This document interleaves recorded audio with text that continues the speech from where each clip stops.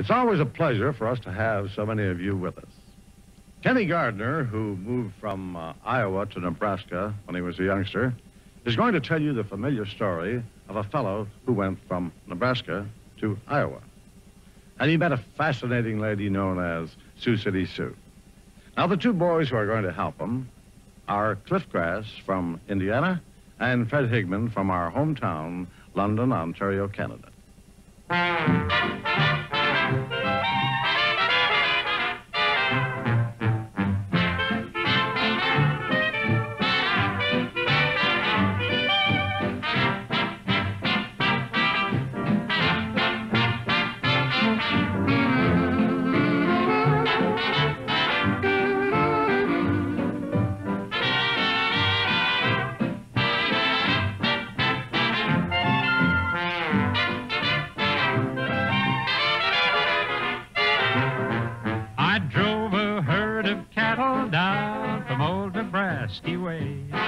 That's how I come to be in the state of Iowa.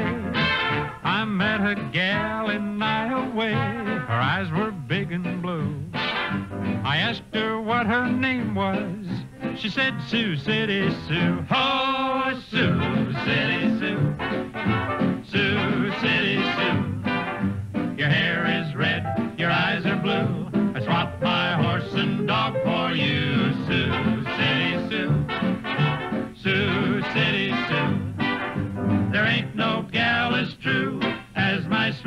City Sue. I asked her if she had a beau. She said, yeah, quite a few. But still I started courting my sweet Sioux City Sue. The first time that I stole a kiss, I caught her stealing too. I asked her, did she love me? She said, indeed I do. Oh,